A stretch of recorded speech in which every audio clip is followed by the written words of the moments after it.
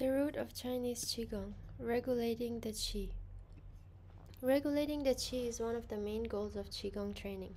Regulating includes adjusting, protecting, keeping, and raising.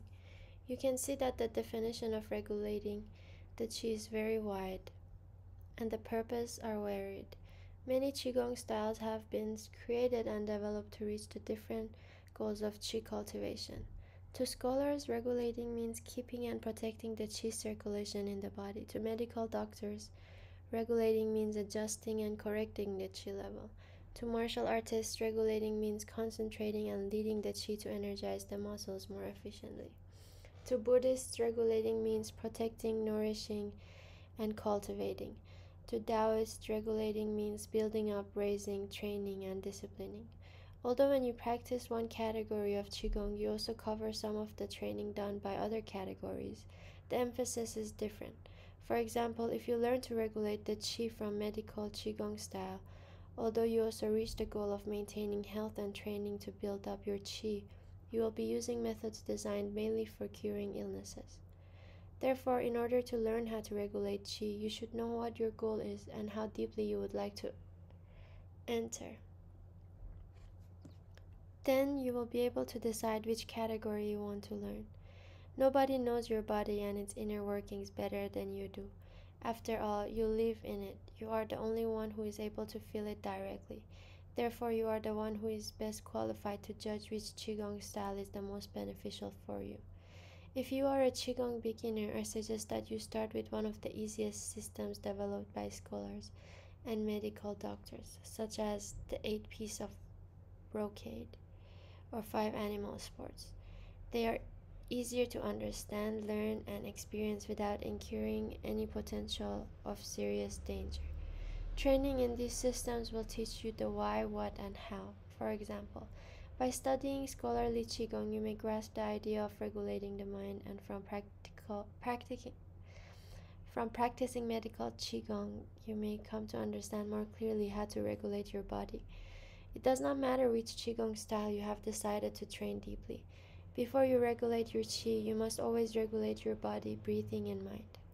Once you have gained the experience and understood the theory, you will be able to understand the deeper martial or religious Qigong, such as small circulation, grand circulation, or the marrow brainwashing Qigong more easily. In this section, I believe that we should discuss two major subjects before going on to the general concepts of regulating the qi. These two subjects are A. The communication between your yi and qi, and B. Two general attitudes towards regulating the qi. Communication between yi and qi, learning how to open communications between, between your yi and qi is probably the most crucial factors in successful qigong training.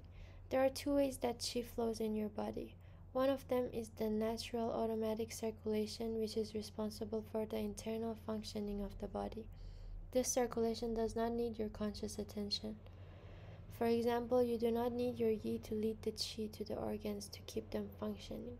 This happens naturally and automatically. However, if you desire to lift an object, first your yi must generate the idea of lifting and this idea or intention will lead chi to the arms to energize the muscles.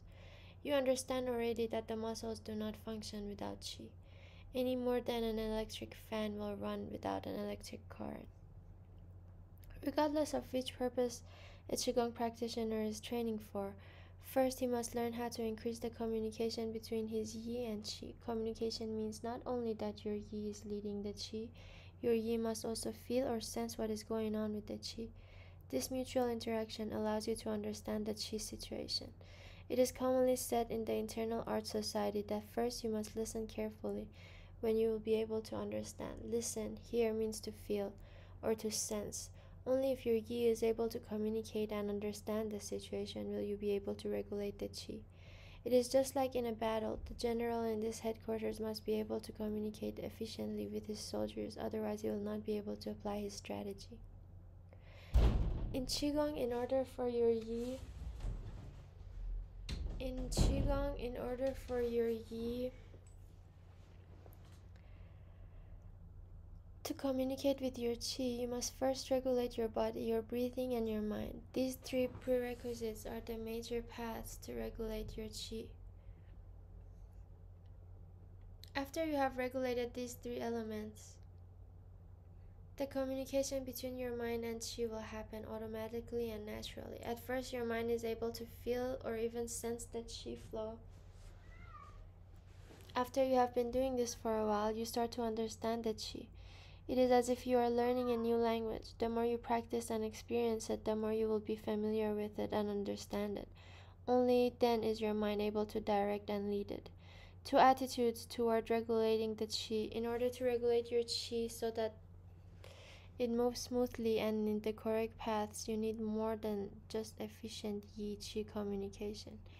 You also need to know how to generate Qi. If you do not have enough Qi in your body, how can you regulate it? In a battle, if you do not have enough soldiers to carry out your strategy, you have already lost. In Chinese Qigong society, there are two major attitudes in regulating the Qi. Both of them have their own theories, disadvantages, and advantages.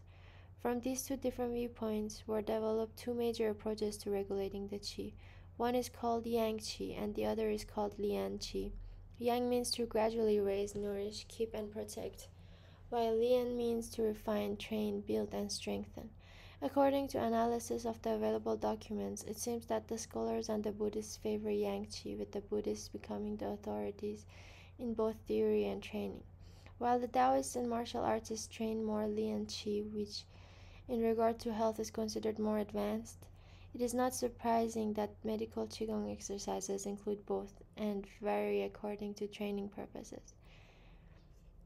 In practicing regulating the Qi, it is crucial to increase the quantity of Qi while maintaining a neutral state in the body. As you know, excess Yang or deficient Yin Qi will cause health problems and speed up aging. It is important, therefore, to learn how to fill up the Qi reservoirs the eight chi vessels without letting this abundant chi overflow into the 12 chi channels.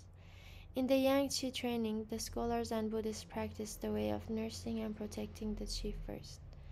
Then they learn to gradually raise or cultivate the chi to a healthier level. This gentle and conservative method is meant to maintain a healthy chi flow without significantly affecting the chi level and natural circulation. This training is especially important when the practitioners are getting old and the chi level in the reservoir is lower. In Lian Qi training, the Taoists work on training and refining their qi and also on strengthening or, strengthening or increasing the qi level in the qi reservoirs. Taoist Qigong practitioners believe that in order to obtain the goal of longevity, not only must you maintain smooth qi flow, but you must also increase physical body or, or you must also increase the chi level to strengthen your physical organs. They believe that the quality and the strength of your physical body can improve be improved by nourishing the chi correctly. Your body is like an electrically powered machine in that it needs current to run, and if you continually run an inadequate current through it, it will deteriorate quickly. However, your body is different from a machine in that if you gradually increase the amount of current, your body will adjust to the current and will become stronger and start to function better. It is just like if you were able to run 5 miles a day and do so on a regular basis, you will maintain your health and a certain amount of strength. This is the scholarly and Buddhist way. However, if you gradually increase the distance as time goes on, your body, your body will readjust itself to fit the new requirement and your condition will improve. This is the Taoist way. You can see that the scholarly and the Buddhist way is gentle and more conservative, while the Taoist way is more, more active. Sometimes the Taoist training methods are more difficult and dangerous than those of the Buddhist. They always need to keep track of what is happening in their physical bodies as they train and be careful that the chi they have built up is not mishandled and does not move the wrong way. Beginners in Qigong should first learn how to keep their Qi flowing smoothly. Only after you understand yourself and Qigong theory should you start training gradually to refine and train your Qi to a higher level. This normally takes at least 10 years of correct practice under the instructions of a qualified master.